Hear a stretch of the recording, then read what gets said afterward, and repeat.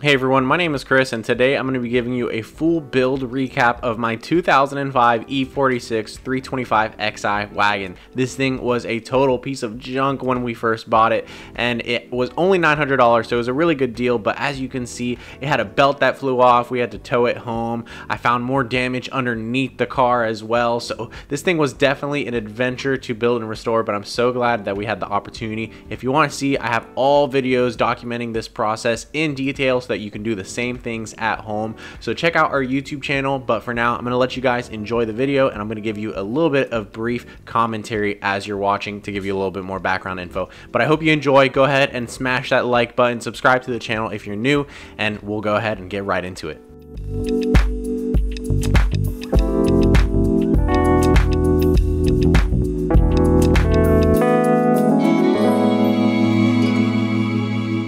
Now, if you didn't see right there, the car was involved in a little accident. It looks like someone had sideswiped it, starting with the fender. And so that was my first priority after I bought the car was I wanted to make sure that the whole body was straight. So we went to the junkyard, we bought an OEM fender from another car, and then we went ahead and pulled the one off of our car to see if there was any damage underneath.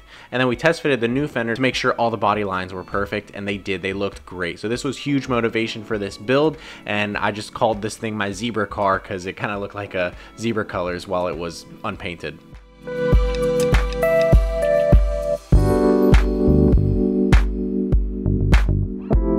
Now I wanted to get the car driving and since the belt had been thrown off and the pulley was basically falling apart, it wouldn't even move from my front driveway. So that was the first thing that we decided to do was fix the pulley system. I bought an entire kit of parts to just replace everything. And uh, once we got it off, we could see just how bad the damage was.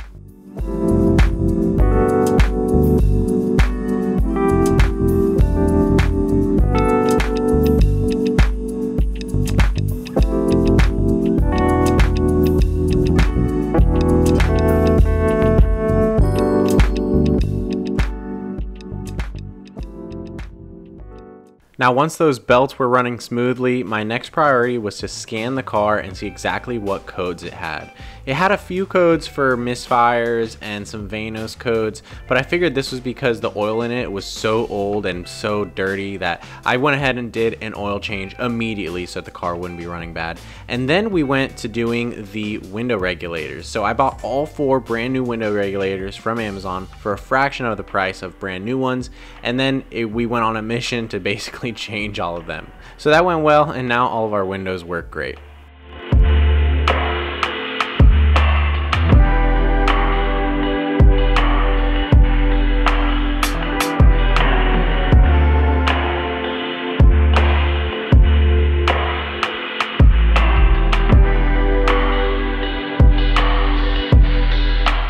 Then I decided that I wanted to try my hand at key cloning. So I bought an AK90 programmer, the tool that you need to do this, and I went ahead and pulled the EWS out and made a fresh key for myself, one that was able to lock and unlock the door. And then after that, we moved on to uh, pulling the exhaust down for the first time and snapping all of the bolts on it, which was no fun to uh, take out in a second, which you'll see. Uh, but we did this because we wanted to change the center support bearing, which we knew was bad. And turns out that the U-joint was bad as well, which we actually change out later.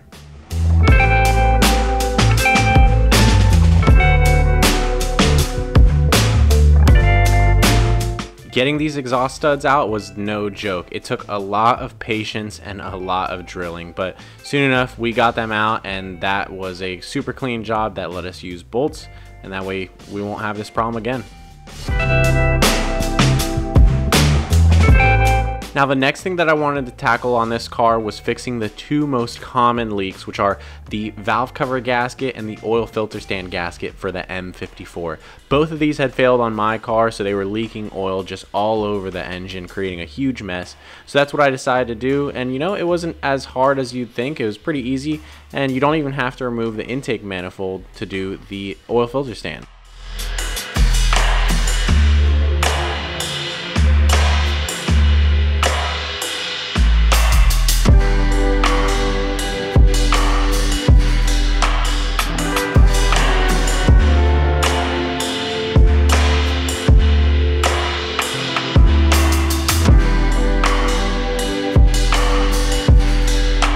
And now we move on to the M54's main weakness, the cooling system. It's not really the cooling system that's a weak point, it's really the fact that because this is an all aluminum motor, the first time that you overheat it, it's gonna warp the block and probably warp the head as well. You're gonna suffer head gasket failure really easily if you ever overheat this engine. So the best thing that you can do is take care of your cooling system before it fails. And I'd recommend doing this by changing out your water pump, your thermostat, and also the radiator and all the hoses that look like they're old or original because you don't want any of those to pop and cause your car to overheat.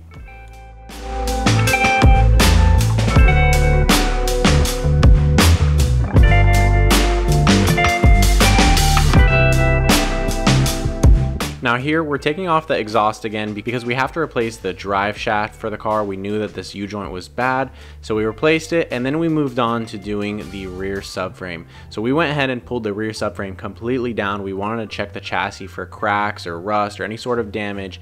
And while we had it down, we were also going to change the subframe bushings, the differential bushings, and the rear trailing arm bushings because all those looked worn.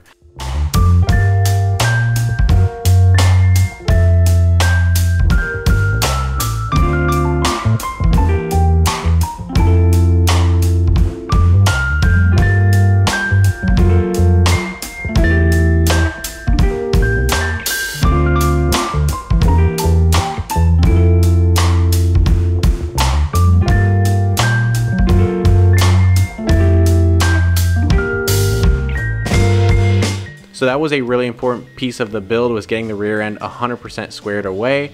And while we had everything apart, we took the opportunity to paint over some stuff and remove any surface rust to make everything just look brand new.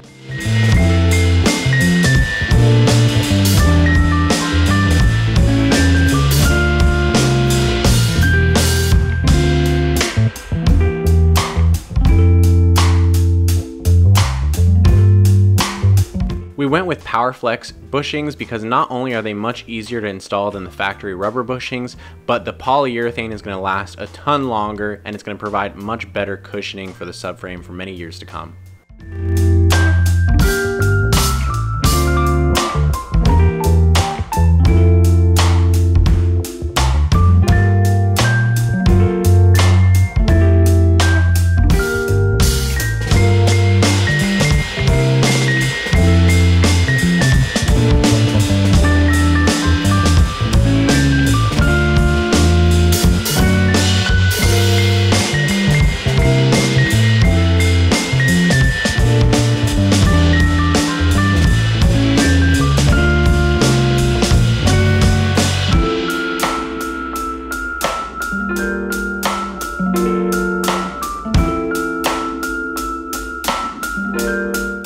With the rear subframe in place, we turned our attention to the front end of the car because now it was time to work on the front suspension as well as replacing the front axles. And also since we're down there, we might as well replace the oil pan gasket and all the associated seals as well.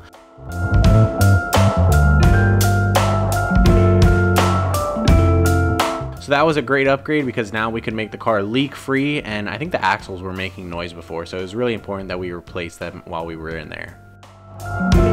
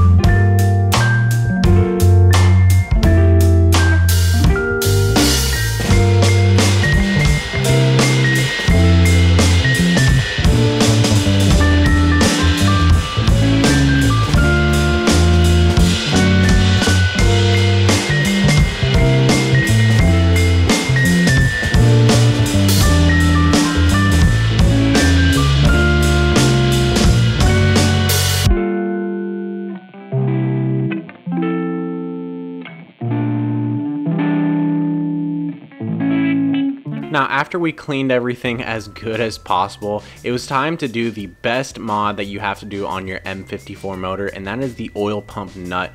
You want to get one that has a safety wire just like this because it's so common for this nut to back out on its own and then your car would lose oil pressure and it would completely destroy the motor. So while we had the oil pan off, it was definitely time to do that and then we started reassembling everything and getting it ready to get it back on the road with all new parts by the way.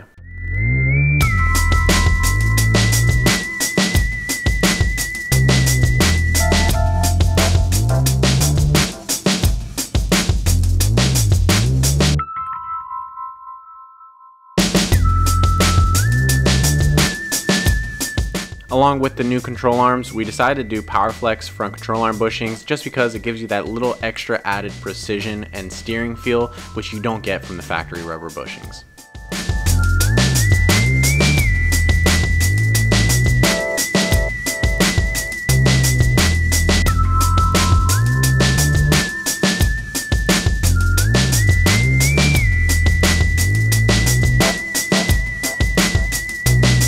Moving back to the rear end of the car, I noticed that the rear struts were blown, so I went and grabbed some new ones off of eBay, as well as some Meyle brand heavy duty rear strut mounts, which are a super common failure point because of the construction of the factory ones.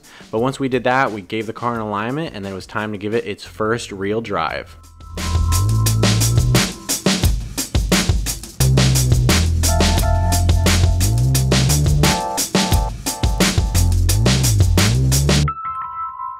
So now that the car was mechanically sound, it was time to turn our attention back to the cosmetics and the first thing that we wanted to do was paint this ugly white fender.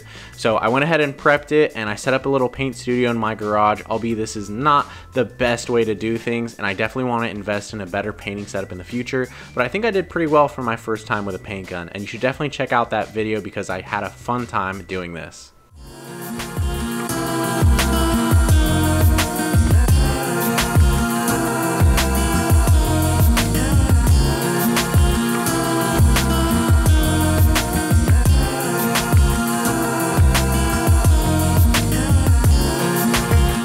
One other thing that we decided to do was a full transmission service because it was leaking from the shifter selector rod seal, I think it's called. And while we were there, we also did the transmission filter, the fluids, and then also the transmission bushing. So took care of all that and it is fully serviced.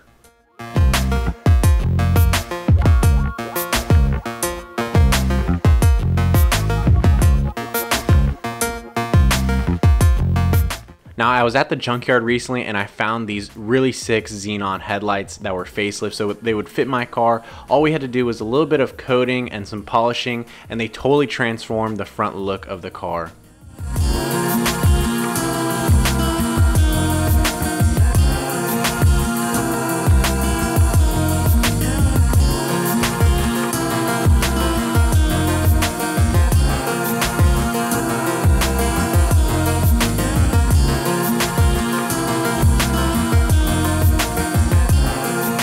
Now I also grabbed some Euro corner and side marker lights and those totally transformed the look of the front end. And then to match in the rear, I got some tinting film that redded out the amber corner lights and it definitely made it look better as well. So now we're in the final stages of building this car and I finally gave it its first wash because we're going to get ready to fully buff the car with some Meguiar's compound and we also have to do a little bit of paint correction on the fender that we painted because there were some imperfections in it and we actually went down to the base coat in one area but you really can't tell once it's all said and done. But otherwise the car came out looking so good. It just has such a deep black color now all over and looks totally like a different car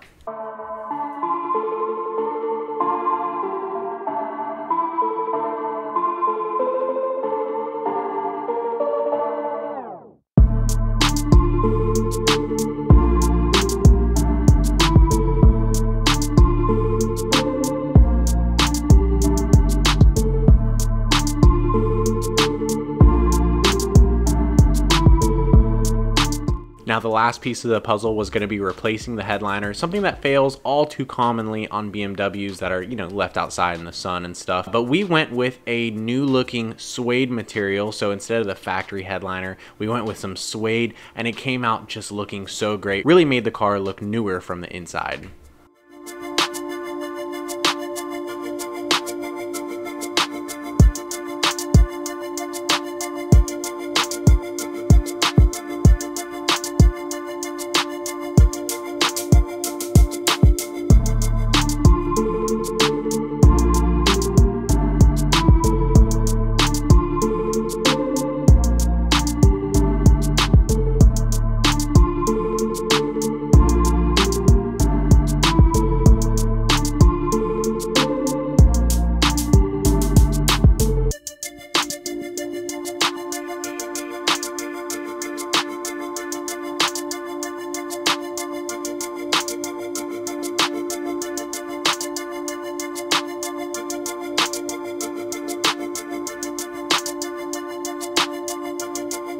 So that's going to conclude our build. I hope you guys enjoyed the video and if you love BMWs as much as I do, consider subscribing to the channel and smashing that like button down below. Leave me a comment to let me know that you enjoyed this build series and hopefully we'll see a lot more cars like this one come through here. Thanks for watching. We'll see you next time.